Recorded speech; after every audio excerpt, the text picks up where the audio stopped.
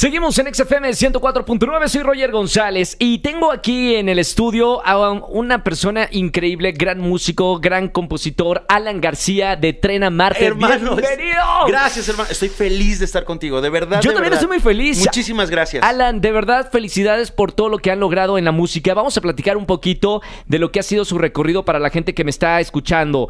Eh, es una locura y, y tú sabes que estar nominado a un Latin Grammy en un primer álbum es algo irreal y es casi de película, Fue un ¿no? sueño para nosotros. Y te voy a decir una cosa. eh, cuando nosotros llegamos, hicimos un checklist de todo lo que queríamos en nuestra carrera, ¿no? Sí. Entonces, número uno, grabar el disco. Número dos, este, estar en todos los programas de televisión y radio.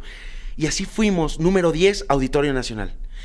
Llegamos a la ciudad, de- nosotros somos de Tijuana. Sí, claro. Llegamos a la Ciudad de México, empezamos a grabar el disco y nos hablaron para darnos la oportunidad de abrir un auditorio nacional. Entonces fue ya nos brincamos 50 pasos, ¿no? O sea, y entonces así ha sido nuestra carrera, llena de sorpresas todo el tiempo. Nosotros sin una compañía disquera, eh, sin la promoción de vida, tuvimos la suerte de estar nominados en el primer álbum eh, en los Latin Grammys como mejor álbum rock pop. Sue- ¿Sueñan desde que están ah, fabricando el álbum, desde que están escribiendo la, la música y la letra, eh, pensaban que iban a estar nominados a un premio, al premio más importante de la música? Jamás. O sea, de verdad, de verdad. Y te voy a decir algo muy chistoso. Fuimos como a 300 entrevistas en cuatro o cinco meses. Sí. De que nos avisan a los Grammys, pasan entre cuatro o cinco meses. Y nos avisan que nos nominan y fuimos a todas las entrevistas habidas y por haber.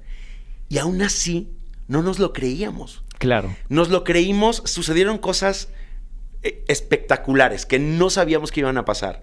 Nos felicitó Ricky Martin. ¿En qué momento? Y dice, escuché su disco y me encantó. Y Es de película. Y nosotros estábamos como en shock, ¿no? Sí, sí, sí. De, ¿Es en serio que Ricky nos acaba de felicitar?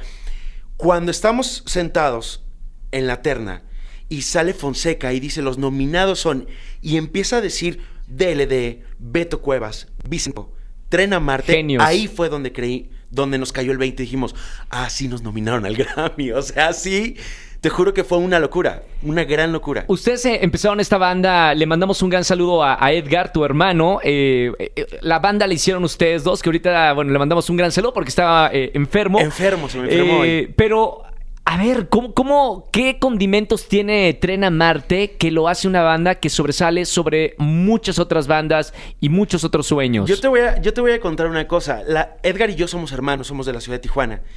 Y, y los dos siempre tuvimos esta cosquilla por subirnos arriba del escenario, ¿no? Y entonces lo hicimos desde muy chiquitos. Yo tenía ocho años, él tenía seis cuando empezamos. Pero yo cantaba pop y él cantaba ópera. Era una cosa muy extraña. Opuestos, ¿no? Completo, O sea, pero- rock y ópera. Pero él, él, él tenía seis años. Sí, claro. Pero le, le encantaba. Entonces fuimos creciendo, nos fuimos metiendo en la música poco a poco, hasta que llegamos a Ciudad de México. Y yo estuve en Hoy no me puedo leer años. ¡Wow! Sí, yo estuve con Nacho Cano, con Alan Estrada, con Fer Castillo, Claro, con Gerardo claro. Méndez. Eh, y fue una experiencia única. Pero dentro de la orquesta de esta, de esta puesta, Sí, sí, sí. En vivo todas las funciones, todas, las noches. funciones, eh, estaba Aldo Núñez, un bajista fuera de serie. Sí. Un bajista que tocó con eh, Cristian Castro, David Bisbal, Luis Fonsi, Juan Gabriel. Claro. Yo hace 20 años le dije, un día tú y yo vamos a tener una banda. Y él me dijo, por supuesto, TJ. ¿No? claro. Y pasaron los años y casi 10, 11 años después pudimos hacer nuestra banda. Ujú. Y hoy se llama Tren a Marte. La realidad es que todo ha sido así. Todo ha sido como lo, hemos soñado y simplemente ha sucedido, ¿no? Claro. Pero trabajando. Tengo que decirlo. El, el- el- el trabajo que hemos hecho nosotros es picar piedra todos los benditos días, ¿no? Mi, mi- mi mujer y yo tenemos un dicho que la plantita crece si le echas agua, ¿no? De acuerdo. Entonces esa agua se la tienes que echar todos los días a, a tu proyecto, a lo que haces. Y, y hablábamos fuera del aire de también las discográficas. Quizás ser artista independiente todavía cuesta más trabajo que cuando tienes un gran equipo, una discográfica que te ayuda a promocionar tu música. Creo indudablemente que las disqueras son un gran atajo para cualquier situación que hagas dentro de la música. Sí. Un gran atajo, pero también el otro lado de aprender, aprender todo lo que tienes que hacer. Por ejemplo, te voy a dar un ejemplo bien padre. Sí. Yo fui jalacables en un lugar aquí en México. Ok. Yo era. Mi nombre propio era Stage. Stage Manager. Sí, sí, sí. No, yo, lo, yo lo viví. Yo sé lo que es estar ahí. Yo conectaba los micrófonos de grandes artistas como Camila, como Rake, como incluso Matute, que bueno. Ahora grandes amigos, ¿no? Ahora grandes amigos, la cantante de Matute es mi esposa ahora. Sí, sí, ¿no? sí. Pero yo era el que conectaba todos estos cables. Entonces, corte A, yo dando shows y escuchando que algo está tronando, que un monitor está tronando, que algo no está sonando como tiene que sonar Claro. por una cuestión técnica. Y les digo, está el cable, esta línea. Lo digo, lo he dicho en cualquier cantidad de escenarios, de que voltea, volteo a ver a, a alguno de los stage que están en el escenario con la cara de preocupación de decir, ¿qué está pasando? ¿Por qué está tronando esto? Y volteo y le digo, respira, ven, respira. Tienes que cambiar tal cable porque ya lo viví. Claro. Ya, ya viví ese terror. Un día, es que es, a- a- pasan tantas cosas en esta carrera. Sobre todo tocando en vivo, ¿no? Sobre todo Una cosa es poner play y otra cosa es tener músicos 100%. en vivo. Nosotros, aparte de Terena Marte, somos nueve. Sí, sí, Somos sí. un montón. Un día me pasó con Natalia Laforcade. Ajá. Mi única chamba ese día. Ahora sí que parecía un meme. Tu único trabajo es este. Mi única chamba ese día era prender el micrófono de Natalia. ¿En serio? Y no lo prendí. ¿Por qué se te olvidó? O sea, sé por qué se me olvidó, no lo puedo decir al aire. Eh, entonces de repente empieza. Yo estaba como groupie en la orilla del escenario, como, wow, arrancó el concierto con la rola que más me gusta. Sí. Y empieza a cantar y digo, Dios bendito de mi santa vida. Ya me corrieron. No, no dije, se me olvidó prender el micrófono. Y me subo volando al escenario, quito el micrófono y hago como que tenía una falla técnica el micrófono. El golpecito técnico, el golpe ¿verdad? de, no está sonando. Y volteó a cabina como a decirles, ¡Ey! Algo está pasando con el micrófono. Claro. Yo haciéndome bien tonto. Obvio. Porque yo sabía perfecto que no lo había prendido. En eso bajo rápido la mano, lo prendo y le hago, ¡listo! Y, y se lo pongo, te lo juro. Que me- no yo quería que me tragara la tierra. Claro. O sea, decía, no puede ser que me esté pasando esto con 400, 500 personas porque era un show privado, pero solamente iban a verla a ella. Entonces, bueno, regresando a las disqueras, me he aprendido. Hay un gran amigo nuestro que se llama Emilio Ávila Sí.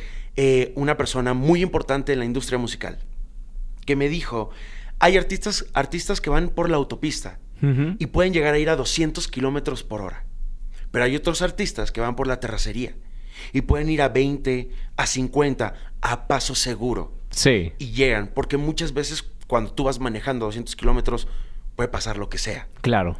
Pero cuando vas por la terracería y vas lento a tu paso, vas a llegar. No importa lo que te vayas a tardar.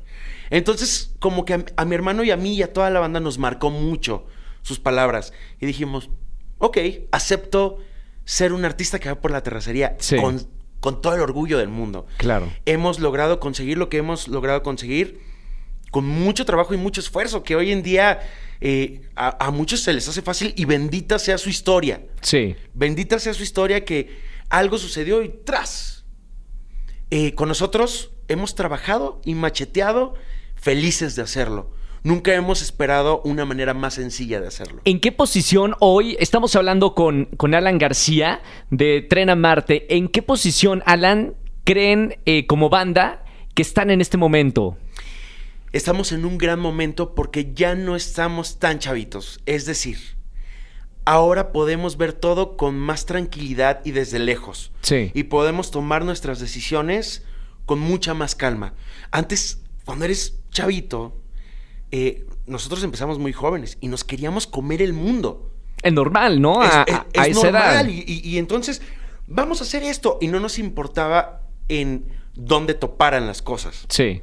Ahora tampoco nos, top- nos importa en dónde van a topar las Pero lo cosas. saben. Pero lo hacemos con más cautela. Claro. No hay que estrellarnos en esta parte. Hay que tomar mejores decisiones. Creo que ha sido un proceso de muchos años y mucho tiempo en el que, como lo digo y no me canso de decirlo, porque nuestra carrera ha sido así y amamos cada paso que hemos dado en nuestra carrera. Podemos hablar de. eh, eh, hablamos del primer álbum nominado al Latin Grammy, el segundo álbum Karma para el Alma. Karma para el alma. Dios, después de un Latin Grammy, de una nominación, este, qué miedito, ¿no? Hacer otro álbum, Es, ¿no? es exactamente lo que te estoy diciendo, porque cuando, cuando grabamos el segundo disco, ahí nos entró el miedo. Y dijimos, ¿y si no funciona? ¿Y si no lo nominan? ¿Y si? Y entonces el y si nos estaba carcomiendo. O sea, decíamos, no, soltemos y hagamos las cosas tranquilos. Grabamos el segundo álbum, que se llama Karma para el Alma, y sucedieron cosas muy extrañas, ya que al final Tren a Marte no es una banda que todo mundo conozca. Es una banda que ha trabajado mucho, pero no todo mundo conoce. Hemos trabajado para que todo el mundo nos conozca. Este, y fuimos álbum número uno en ventas en iTunes en toda Latinoamérica. Y estuvimos ahí tres semanas.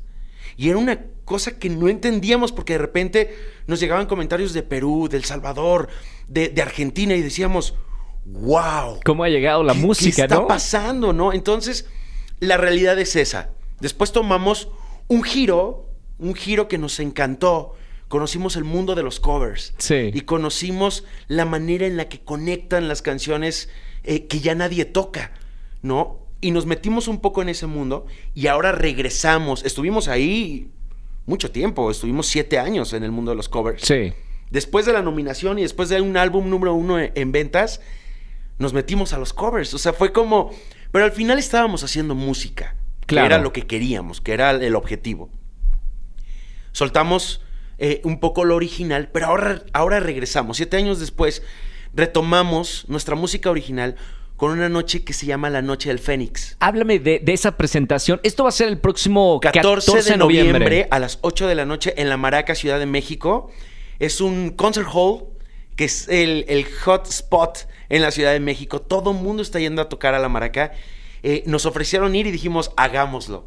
Eh, el 14 de noviembre vamos a tocar eh, nuestros dos discos originales. ¡Qué increíble! Para toda la gente que se se enganchó con Tren a Marte con la música original. Ahora regresamos nuevamente con la música original este 14 de noviembre eh, a la Maraca. Ahora, entre sus canciones eh, originales y, el placer de conectar con el público a través de, los covers, como banda, ¿qué prefieren? Eh, porque son dos caminos certeros, pero son decisiones de, la banda. ¿Irse por el camino de los covers o seguir haciendo música eh, original de ustedes? Ahora, después de siete años, eh, algo sucedió entre nosotros y dijimos, oigan, tenemos 22 canciones en, en dos discos.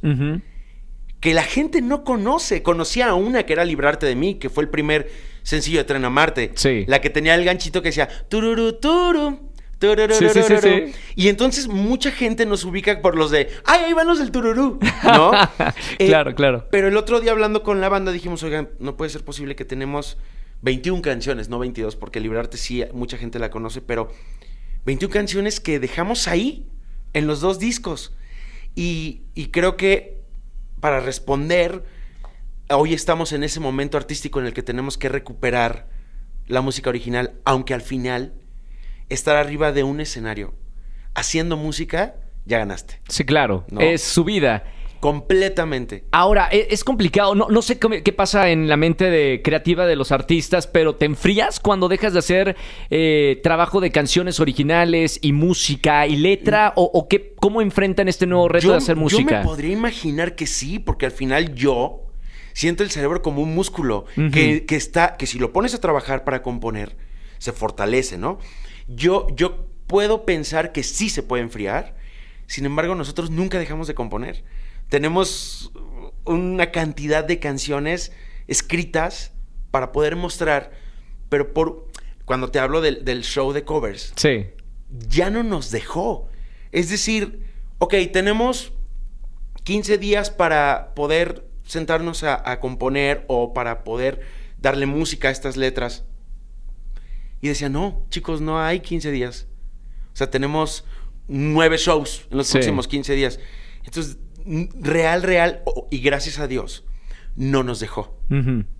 Y siguieron haciendo, obviamente, su música, pero todavía no la sacan hasta el próximo álbum. Hasta el próximo álbum, correcto. Perfecto. Que, también estamos planeando para el próximo año sacar un nuevo álbum de tren. Órale, ¿no? bien. No, queremos dejarlo así nada más. O sea, queremos hacer La Noche del Fénix, que es esta, el 14 de noviembre en la Maraca, y enseguida empezar a trabajar en el próximo álbum de, de Tren. Qué maravilla. Alan, gracias por estar aquí en, de en- verdad, en la gracias radio. por tu espacio, gracias. Y los invitamos a la gente que nos está escuchando 14 de noviembre, ahí van a estar en La Maraca, vayan y escuchen a esta banda completamente en vivo y también para la gente que los ha seguido durante todos estos años, sus primeros dos álbums, volver a escuchar las Claro. canciones de estos dos álbums que seguramente hay muchísima gente que espera escuchar esas canciones La en vivo. respuesta en redes sociales ha sido extraordinaria. Nos vemos el 14 de noviembre. Lo vamos a pasar espectacular. Gracias, Alan, por estar aquí en Amigo, la radio. gracias de todo Un corazón, abrazo gracias. a Edgar de, de- de mi parte. Por supuesto. Y este. Para que se mejore rápido. Que se mejore rápido y 14 de noviembre los esperamos para que vean y escuchen a Tren a Marte. Gracias, Alan. Gracias, hermano. Seguimos con más música. Ponte Exa.